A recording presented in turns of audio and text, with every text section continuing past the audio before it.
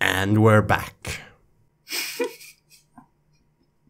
so you saw the new movie, the new hit movie, It, from the imagination of Stephen King and a bunch of other people. Yes, um, me and a couple of friends went to the cinema to see the new It, and um, I had really low expectations because uh, I don't know, a lot of these uh, new horror movies and especially remakes are, in my opinion, often bad. So I had low expectations, and when they revealed Pennywise, uh, his look and the um, the actor. I I thought the same thing. I didn't expect much, but I actually really liked the movie, though I think it had some pacing problems. Um, so like everyone else on the internet right now, I I like the movie except for that pacing problem, which I don't. I haven't heard anyone mention. Um, I think when some people talk about the movie on the internet, YouTube, for example, it sounds like the movie is perfect and that it's the best horror movie to date, almost, which I don't think. I think it's a fun movie. I can't necessarily say it's a good movie, but I think it's fun. And for me, that's all that matters. But yeah, um, every time a new horror movie comes out, every time a new horror movie gets marketed, it's always um, the trailers always look frightening and these uh, horror trope-ish sound effects that are there to kind of raise and heighten the suspense if you know what i mean Hmm. Also the jump scares, right? yeah jump scares like there's a suspense sound effect and then a jump scare Yeah. um, so the trailers have all all those things, and those things aren't necessarily in the movie, only in the trailer. Um, so when when the mainstream audience sees these trailers and people in articles on the internet write things like, "Oh, this is gonna be the scariest movie ever," and backed up by a statement that uh, it made some people cry or something. Uh, I've recently read on Facebook people telling each other like, "Oh, we should go and watch this. It'll be so scary." Ha ha ha ha.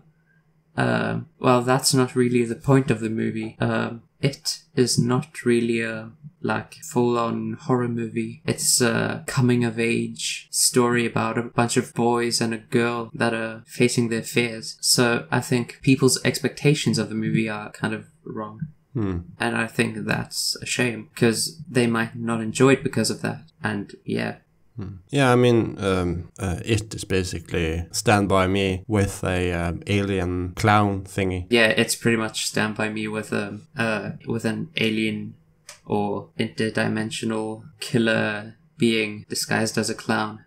Mm. So yeah, it's more of a Stand by Me kind of story than a typical horror story. I think. Hmm. Of course, uh, Stand By Me didn't have an orgy, but No, um, probably for the best. yeah, I mean, I, I know we are getting uh, a bit off track now, but uh, I'm not quite sure why the fuck you would put an orgy in a children, um, not a children's book, but a horror novel that the main protagonists are children. Why would you make them, you know, um, yeah. I don't know. Uh, I think Stephen King seems kind of pretentious. Um, he says that he, if he's watching a horror movie, he always laughs because it's funny to him. And I don't know. It seems like he he thinks he's so provocative and uh, like, uh, what's so wrong about uh, killing children? I'm not saying it is No. a problem, but uh, it's understandable how some people would question it. But it, to him, it's like I think he's being pretentious. He's pretending to not see it or something. Um, I don't know. That's my view, at least. Uh, I think we should just move on to uh, the idea for the book you had Oh yeah, apparently inspired by. yeah. It's kind of it's kind of a. Uh, well, did you listen to the song? Uh, yeah. Uh, I mean, I, I listened, didn't really understand. I mean, You I don't have understood to. it was. It's okay. I just put the link there so that you could at least hear it. But yeah, so that um, I don't know what the song is about, but it's um, the singer sings about traveling through a cave and seeing all these magical crystals, and not not uh, literally, but uh, like they look magical because they glisten and stuff. But yeah, so it's just traveling through a cave, and it is about a group of kids uh, fending off a beast. Uh, so the story I came up with, or yeah, I don't like to say that I came up with it because it was heavily inspired by something. But anyways, uh, so the story I came up with is um, there are there's a like a therapy circle. I don't know what it's called. Um, like a group of people in a circle, and they each talk about. Uh, they say things like, "Hi, I'm Karen," and then everyone says, "Hi, Karen," and that person then goes on to say like, "I'm an alcoholic" or something.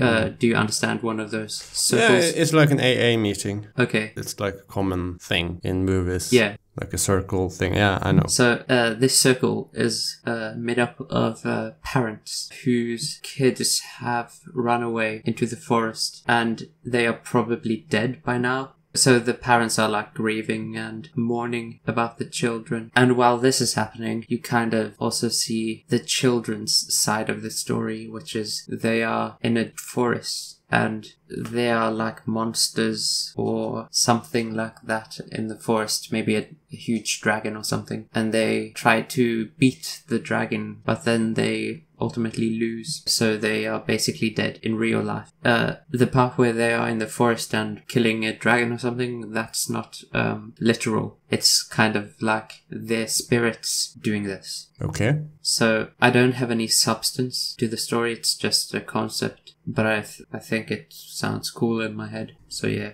I don't know. Yeah, but what killed the kids in real life? I don't know.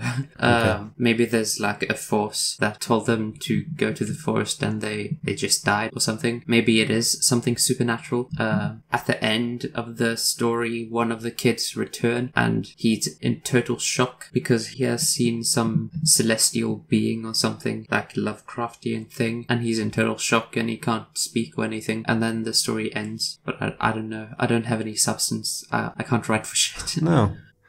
Uh, yeah. The kid. I mean, you said you didn't have substance, but uh, the kid that returns is he with the other kids fighting the dragon, or At f- yeah, um, maybe he escapes or something. so the dragon is more allegorical to something else? Yeah, it's an allegory for maybe um, their fight for survival Okay. wherever they are or whatever they are fighting. Hmm, yeah. But why doesn't the um, the parents just come and get the kids? Um, I've thought about this. Yeah. I don't really have an explanation. Maybe they have gone missing and the parents don't know where they are. You know, police usually go and search in forests and stuff with flashlights and everything. So that would probably happen. Hmm. Uh, but uh, I don't know. I'm guessing they just don't find the children at first. What you could do is to write basically the Lord of the Flies, but from the parents' point of view. Because I mean, not really though. Same story, but the kids are on an island, right? Yeah. And the parents are just uh, comforting each other, not knowing where the plane went down, uh, and they're searching for the plane, but they don't really know where they are. You could explain it that way. Yeah. Um. And then the um, the monster is really like uh, the monster in um, Lord of the Flies, right? Uh. I haven't seen the entire movie. I don't know if there is a monster. In in Lord of the Flies. Yeah. Well, it isn't a monster. It's just the children Yeah, imagine. getting greedy and Well, um, um, killing each other. Yeah, it's the kids uh, turning into animals Yeah. and you know killing each other. But the monster isn't real. But in your case, the monster is real, but it's not necessarily a dragon. I wouldn't say it's real. It's just, uh, I guess. Yeah, yeah. Sorry, allegorical to fight for survival, right? Yeah, well, maybe maybe the children just went into the forest and suddenly they fell somewhere and died like very instantly and the story where they actually fight something is just a nicer way of looking at them dying. Uh, so maybe the children just fell into a hole or broke their leg and slowly died or something in the forest. And them fighting something like a dragon or something is just a nicer way of looking at the subject. Um, like, uh, I think it's hard to explain stories, and especially when it's something very specific. So yeah, we, Should just move on. yeah, maybe. Before we do that, I think it's important to to say that you should start writing, and even if it's shit, because it it will be shit. Um, just write it down. I have. I'm talking from start to finish, basically. I've written down uh, pieces, like the things basically that I've told you. Okay. No substance, only like the important things. Yeah. So, hmm? no, because when you write it down, you can afterwards fix it yeah, and edit and all that shit. Um, yeah. For example, I don't know how to start off the story, so I started off on a dark and stormy night. Ugh. Um, Yeah. I think that's fitting for this story. Only I could probably word it in a more serious way, and it almost sounds like a poem. Why not just start it at the meeting? I do. It starts off like on a dark and stormy night, Hmm. comma, the children are nowhere to be found or something, and their parents have this meeting, and I can't remember my wording, but uh, I basically go straight to the point. I obviously could fix it, but it's just how I've written it now. So you're telling a story, it's not dialogue so far. No. Okay. I think we could move on and uh, maybe return to it afterwards. Yeah. So, do you want to talk about the movie called Mother? No, but I have to. So, this movie presents itself as being very deep and symbolic. So, on the surface, it's about a woman and a man who live together. They're a couple, and the woman has built this house. Um, everything is like told through her perspective. So, the camera follows her everywhere, and yeah, so it's about her. And one day, um, a man knocks on the door, and the husband, I assume they're married, but yeah, so the husband lets the man in and lets him stay there for how many days he like. And then a woman comes and knocks on the door, and she can also stay for as long as she likes. And then more people come, and more people come, and more people come. And the woman that the story is about, um, it's Jennifer Lawrence, so I'll just say Jennifer Lawrence, so it's easier to explain. But yeah, so Jennifer Lawrence, she's confused because she doesn't want all these people in her house and she doesn't understand why her husband lets all these people in. So on the surface, that's the movie. It's, it's just a bunch of confusion, but really the story is an allegory for the story of the Bible, I think. Like the whole Old Testament and parts of the New. I, I'm not sure, but so the movie is called Mother, and so Jennifer Lawrence in the movie, her name is Mother, and she's Mother Earth, and the man in the movie is God, and the man who knocks on the door the first time is Adam, and the woman is Eve, and later in the story, the husband has um, this glass, probably diamond ornament in his house. It's locked away in a room and it's glowing. And Adam and Eve break it. So basically, they bite the apple and they get thrown out of the house. But then they come back and their two sons come and the one son kills the other. So that's, um, I can't remember their names, Cain, Cain and Abel. yeah, that's Cain and Abel. And then I can't remember everything, but uh, uh, mother has a baby, and this is while while this is happening. Uh, there are tons of people in the house, and they all want to see the baby. Uh, but mother doesn't want everyone to see the baby. But God is like, um, yes, they have the right to see the baby. They just want to see the baby. They want to appreciate him. Um, and then. God um, takes the baby and like lifts him up and hands him over to some people in the crowd, and they pass him around like they surf him. You know, like when people stage dive, uh, they kind of surf on the people. Uh, The crowd surfing. yeah, so the baby crowd surfers Hmm. okay. uh, surfs, uh, and suddenly someone breaks its neck.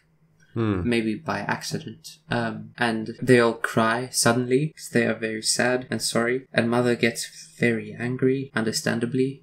Yeah, obviously. And uh, suddenly they are eating the baby because I think in the Bible's um, like eating Jesus's flesh, or something Hmm. is means it means something. Yeah. Um, I don't know. I I don't remember why we or why people eat the flesh and blood of Jesus. Hmm. But anyways, uh, so the mother, um, she's in like total rage, and the ground splits, kind of uh, a small part of the ground, and she puts the house on fire. Everyone dies ex- except for her and God. She's all burnt up, and God is carrying her to s- somewhere. And out of her ashes, God makes this diamond ornament that I mentioned earlier, and it's the story loops, kind of like, kind of meaning that life loops.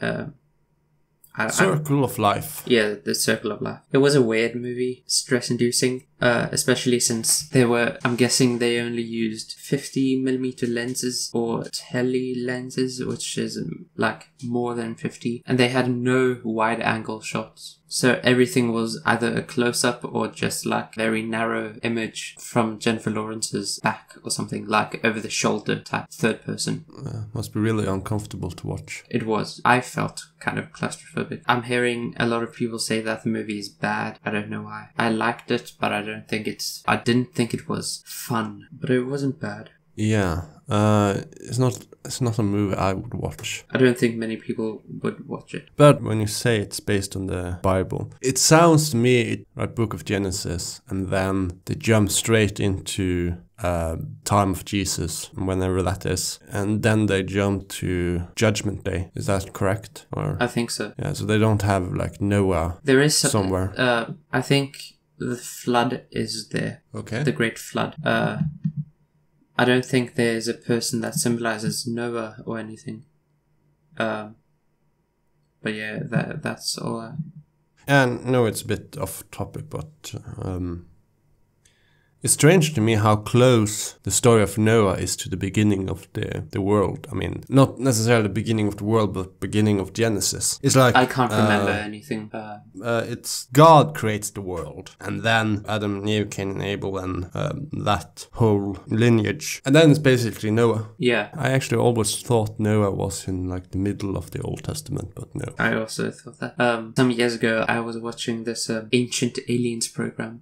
Hmm. Uh, and I'm usually very open to those kinds of things. Um, obviously, um, I don't know much about those stories they talk about myself, so I always take it with a, a grain of salt. Uh, but anyways, th- they say that Noah existed and he was some kind of alien person who could use telekinesis and stuff like that.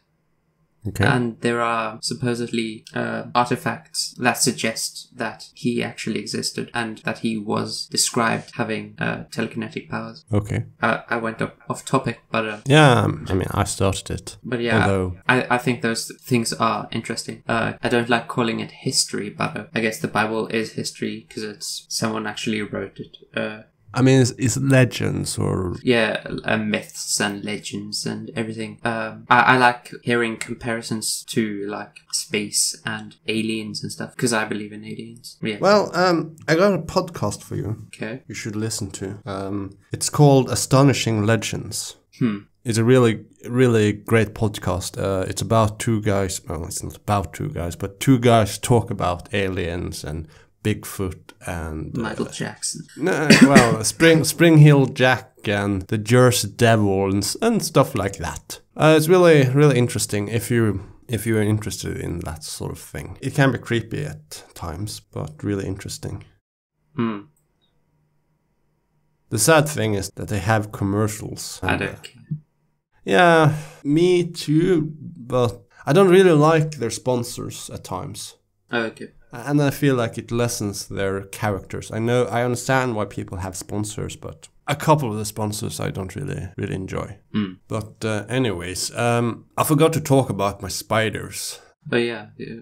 There's spiders everywhere. I see a spider every two days. How big are they?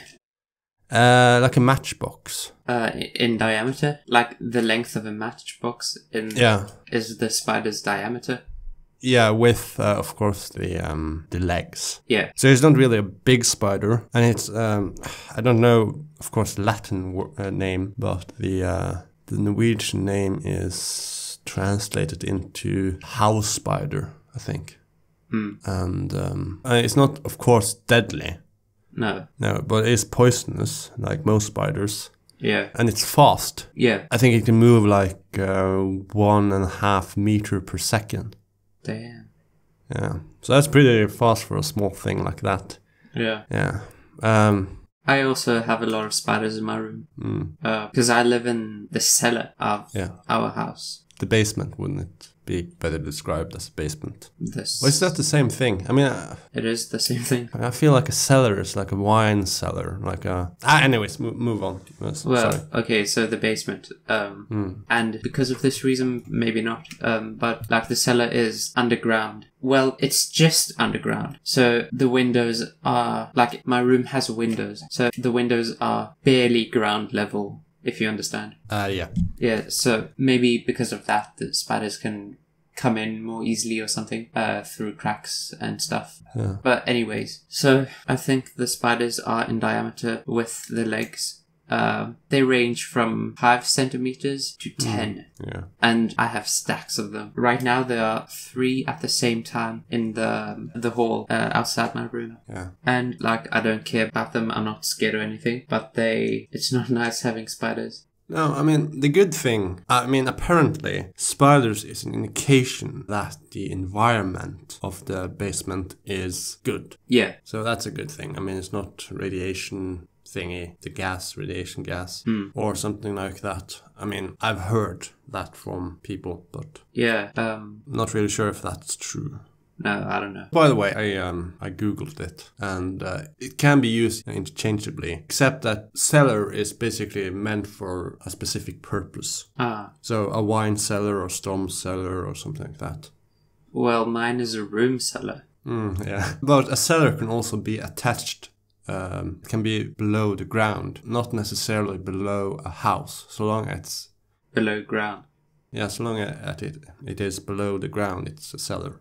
Hmm. So if your whole house was under underground, It would be a cellar house. technically, Yeah, I guess. I mean, the specific purpose of a a cellar house would be to live in yeah. and and probably survive a a nuclear blast I don't know. because it's a bunker, really. I mean, if you put a house under the ground, it's a bunker.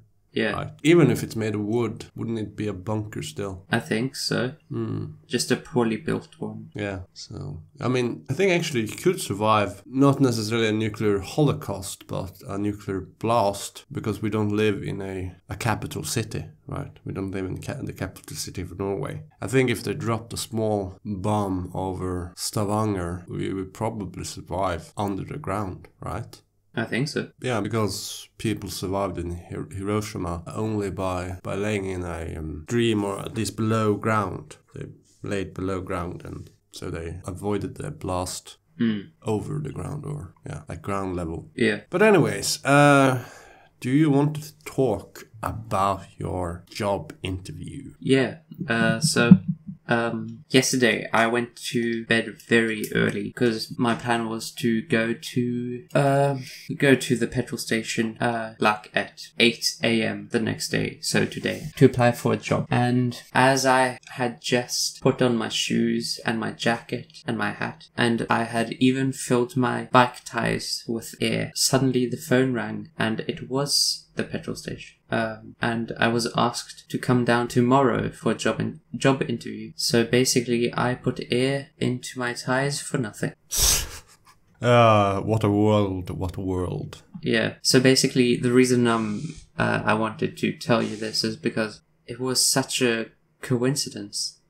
Hmm. You know, stuff like this happens sometimes, like coincidental things. Either if you you're not quite sure what the time is or something, and you say to yourself, "It's probably this exact time," like say four thirty six, and you check your time, and it is four thirty six. So you kind of predict that that something will be or something will happen. And I thought, as I was putting my shoes on, maybe I'll get a call right now, and I actually did. I thought that was funny. So yeah, Then you have to consider the times that you do, you think maybe I get a phone now and a phone call now and don't get a phone call. Yeah, yeah, sure. There are many times that uh, you think that and you actually don't get a phone call. But um, that's not really what I find funny. It's just uh, that I had put on my shoes and everything, and then I get the phone call.